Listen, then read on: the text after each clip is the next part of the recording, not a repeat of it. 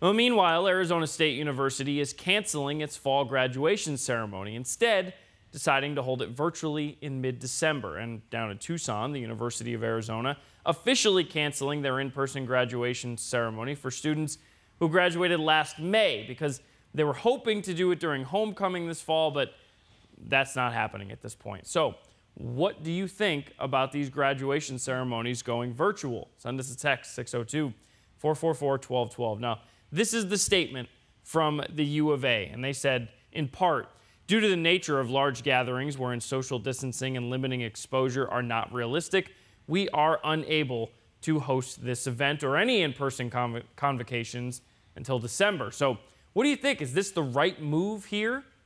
Should they be holding these things virtually or figure out a different way? I think online graduation is cheating the hardworking students out of a once in a lifetime experience. Walking that graduation line, Sean said via text. Uh, Gilbert said it's necessary, regardless of your opinion. It, it's something that Gilbert feels definitely needs to happen. Uh, and